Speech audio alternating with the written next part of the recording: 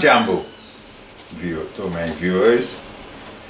I, I'm here with a sister who will be giving a little presentation this afternoon because we are experiencing some a situation here in Guyana that the sister feels very strongly about. I will ask the sister to introduce herself. My name is Sister Penda Guyan, and I am one of the members of the Steering Committee of African Cultural Development Association ACDA.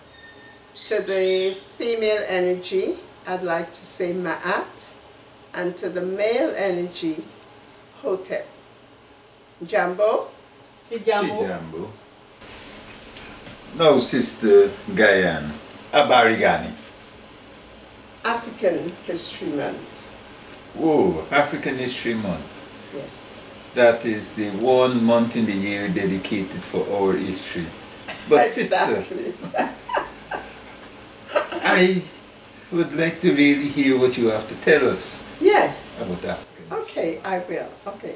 Well, as many of us know, that the African, the month of February has been designated to us for African History Month. So we use the 28 or sometimes 29 days to tell of our achievements and contributions to our community, nation, and the world. However, this year, in the African Culture and Development Association ACDA Guyana, we have decided that we would like to talk about the Afro-Guyanese contribution to the development of Guyana. Chosen to speak about the period 1640s to emancipation. But before I do, I'd like to mention something that's very important, and that is that the presence of Africans in the Americas and this part of the world dates 11,500 years ago. This was proven by Luzia, the skull found in Brazil and confirmed by the anthropologists, doctors Walter Neves and Hector Pucciarelli. Now, our history is so vast, but for some reason, it, it has been left out of the history books, and even persons giving various forums tend to say and write that Africans have made little or no contribution to the development of Guyana. This is totally, totally false. Now, Guyana was formed not for the settlement of people,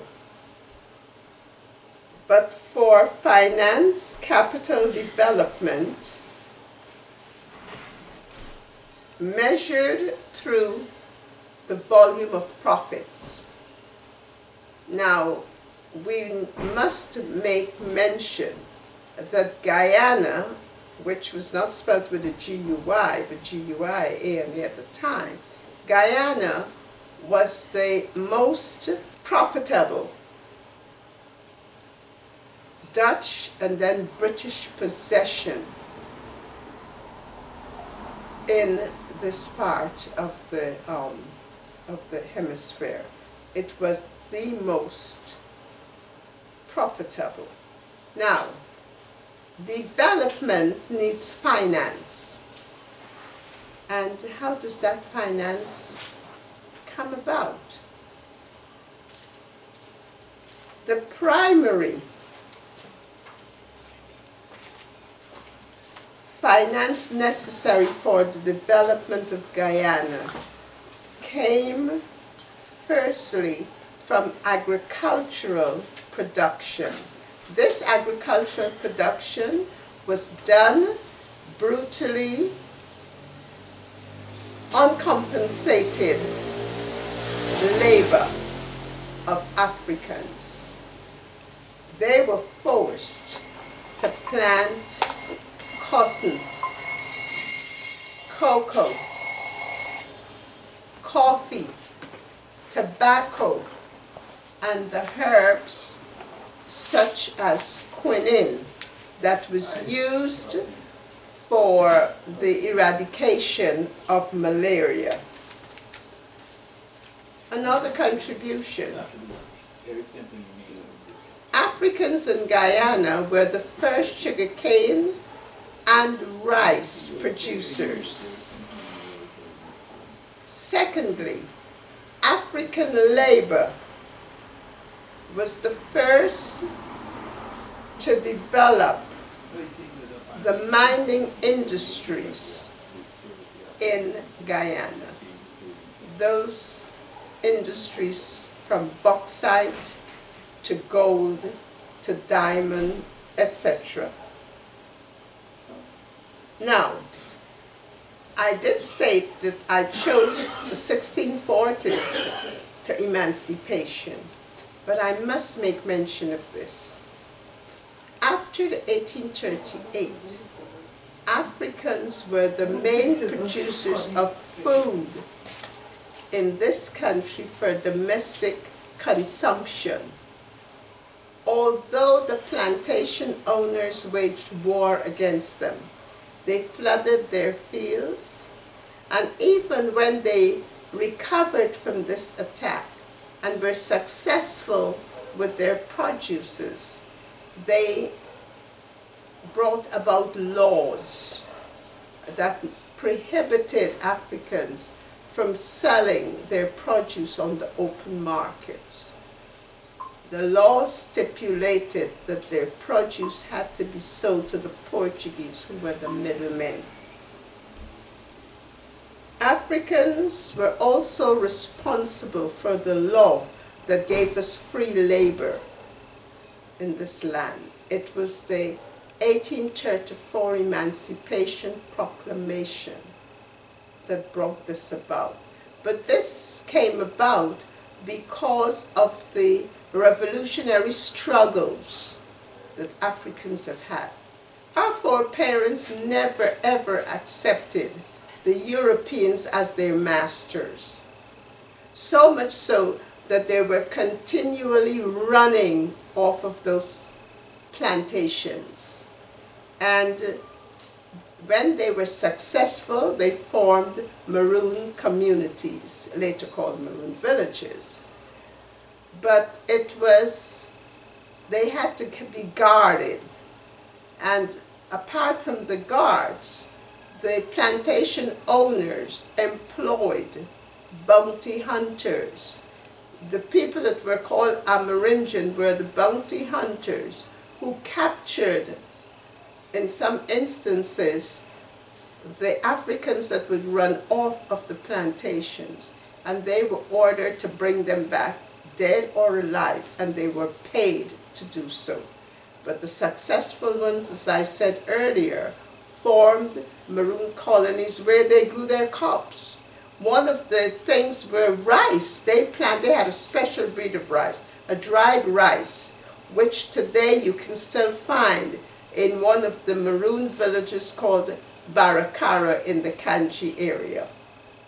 Now it was because of these struggles that they continued, the resistance continued, and it culminated in the 1763 revolution that was led by Governor Kofi, who had his own administration.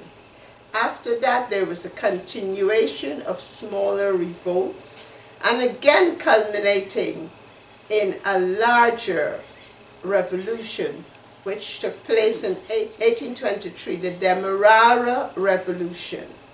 In that revolution, 200, approximately 235 Africans were massacred. But the resistance continued. It was these revolutionary struggles that brought about the 1833 Emancipation Act. It was this act that freed everyone that came to this country after 1834. A very important contribution that nobody speaks of. Every migrant worker that left India in 1838 and came to Guyana, when they set foot on the shores of this country, they became free persons simply because slavery was not abolished in India until 1843. There were slaves when they left. Had they gone back within the five years, they were going back into slavery. That is a major, major contribution that Africans have made to this Guyana that nobody talks about. Now, all these things that I've mentioned were only possible because Africans made this land livable. The indigenous Africans that were captured and brought to Guyana in chains and placed in pre-emancipation prison industrial complexes called plantations built the great one of the greatest monuments our seawall which pushed the sea away pushed the sea kept the sea off of the land. In so doing we cleared 15,000 square miles of forests and salty, swampy lands because of the sea being there. That, those 15,000 square miles are equivalent to 18% of the 83,000 square miles that make up Guyana. Cleared 9 million acres of land. Those lands, the fields that the present estates, sugar estates occupy were part of those 9 million acres that we cleared. We also installed 2.58 million miles of drainage canals. Number one, two, and three are a part of this, as well as trenches and interbed drains. The purpose of that was that when the rain fell, it would wash the salt off the lands and it would go back into the rivers and seas therefore making the lands arable. In addition to that, we cleared 3,500 miles of dams, roads, and footpaths. And we did 2,176 miles of sea and river defense. Well, I mentioned before that we built the sea walls. The sea walls is a part of that sea and river defense. But what is important and significant is that these are all the contributions that Africans make to this country. But the greatest contribution is that they did this with the sacrifice of their lives because there were no Hymacs there were no bobcats. There were no excavators. There were no drudges. They did this with their bare hands, shovels, and spades. Therefore, if they broke an arm, Their heads were bashed against the wall and they're thrown overboard to the sharks. They broke a leg. As long as you could not work, you were discarded. It's like you have today your um, your headlamps on your car. Years ago, you would if the light goes off, you can change the bulb, you can fix the wire, and you have a new light. Now that is out. You have to take out the entire sub, the entire module, and then you put a new one in. So this is how we were. We were removed and replaced because the human cargo kept coming. It is only when the so-called Atlantic trade, slave Atlantic trade came to an end that we medicated, we were, the Africans were medicated because they had no replacements, so they had to ensure that they're taken care of so that they can work on those plantations. So their life expectancy went from five years to 20s, 30s until they continued to increase. That was the situation. Now, what is the significance? The great contribution from what I just stated is that the Africans laid out the drainage and irrigation of this land. Because they did that, they were able to build the infrastructure of this country. So the contributions are so vast. You cannot build any proper structure without a foundation. This is what the Africans gave to this country. Everything else that everyone else has done was done because the Africans made the foundation. They are the foundation of Guyana. That is the contribution. So I feel that if all ethnic and racial groups, especially the young among us, will learn the true history of Guyana and not the miseducation that is taught, we will be able to achieve the social cohesion so desperately needed in this, in this land. I have just touched on the tip of the iceberg our contributions are so vast. But the period I chose is because I wanted to deal with the foundation. Now, as you continue to follow us on the ACDA page, I know you will see the continuation of this, where others will be telling you about the other contributions, because we have not even looked and of course, those would be the um, post-emancipation, I think. Uh, after 1838, you will look, they will be telling you about the village movement, the local government, the co-op system, all those things. So these are things that you will look forward to um, being told about. And I am indeed extremely happy to be making this little presentation to you. I hope it has been helpful. And with that I say ashe, ashe, ashe. I want to show you my Sankofa bird. I love this. I have it whenever I'm doing a presentation because I think this is one of the reasons why I chose the period I did. Because if we do not look back to gain the wisdom and the knowledge we certainly will not know where we're going. So this is very important that we know the history and the culture in order that it may take us forward. Ashe.